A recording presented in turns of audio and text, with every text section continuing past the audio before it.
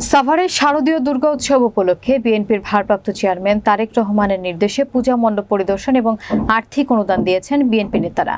বিস্তারিত থাকছে সাভার নিজস্ব প্রতিনিধি মুজাহিদ বিন কাউসারের প্রতিবেদনে। শুক্রবার সন্ধ্যায় সাভার পৌরসভার বিভিন্ন পূজা মণ্ডপ পরিদর্শন এবং আর্থিক অনুদান দিয়েছেন ঢাকা জেলা বিএনপির সিনিয়র সহসভাপতি ও সাভার পৌর বিএনপির সভাপতি খন্দকার শাহ মাইনুল হোসেন বিল্টু বিএনপি নেতা খন্দকার শাহ মাইনুল হোসেন বিল্টু এর সার্বিক তত্ত্বাবধানে সভায় পৌরসভার পনেরোটি পূজা মণ্ডপ পরিদর্শন করেন। এ সময় উপস্থিত ছিলেন সাভার পৌরসভার কাউন্সিলর, বিএনপি নেতাকর্মী। পূজা কমিটির নেতৃবৃন্দ হিন্দু সম্প্রদায়ের সকল স্তরের জনসাধারণের সাথে শারদীয় শুভেচ্ছা এবং কুশল বিনিময় করেন। এ সময় খন্দকার শাহ মাইনুল হোসেন বিল্টু বলেন, বাংলাদেশ জাতীয়তাবাদী দলের ভারপ্রাপ্ত চেয়ারম্যান তারেক রহমানের নির্দেশে আমরা বিভিন্ন পূজা মণ্ডপ পরিদর্শন করছি। নির্বিঘ্নে পূজা উদযাপন করতে পারছি কিনা সে বিষয়ে খোঁজ খবর নিচ্ছি।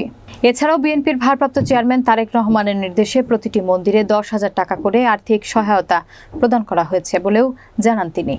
এ সময় পালপাড়া সার্বজনীন পূজা মণ্ডপের সভাপতি সাংবাদিকদের বলেন, আমরা শান্তিপূর্ণভাবে পূজা উদযাপন করছি। নিরাপত্তা নিয়ে কোনো শঙ্কা নেই। এ সময় আরও উপস্থিত ছিলেন সাভার পৌর বিএনপি ও অঙ্গ সংগঠনের নেতাকর্মীরা।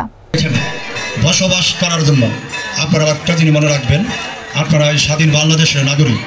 আপনারা এদেশে জন্মগ্রহণ করেছেন, এটাই আপনাদের দেশ, এটাই আপনাদের অধিকার, এই এলাকার আপনারাই ভোটার। আপনারা সর্বদাই আপনাদের সৎসাহস নিয়ে আপনারা কোনোদিনও ভাববেন না যে আপনারা এদেশের সংখ্যালঘু মানুষ। মানুষের মধ্যে ভেদাভেদ থাকতে পারে না।